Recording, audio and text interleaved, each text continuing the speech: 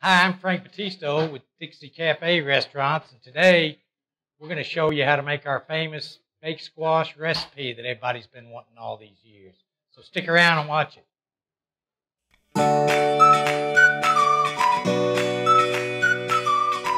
Hi, I'm going to show you how to make Dixie Cafe's famous baked squash recipe. It's by far the most requested recipe in our history. It's a very unique item.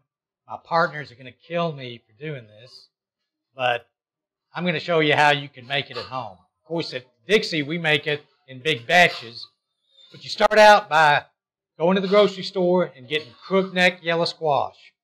Cut off the ends of it, and you cut it into about a quarter inch slices and boil it till it's tender. It probably takes about 20, 25 minutes. You can make three pound batches, five pound batches. About three pounds will make a nice casserole dish. Uh, I'm going to make a smaller increment so you can kind of see how it works.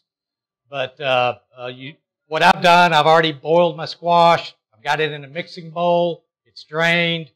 And then I'm going to show you the ingredients we put in it. We put a little bit of salt, quite a bit of sugar,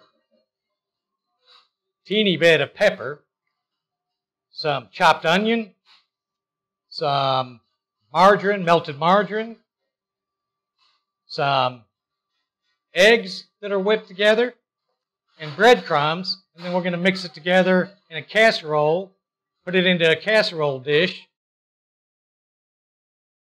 You're going to put it in a 350 degree oven and bake it for about 45 minutes or until it reaches 165 degrees. And you'll have a beautiful squash casserole just like at Dixie Cafe. And here's the uh, baked squash after it comes out of the oven.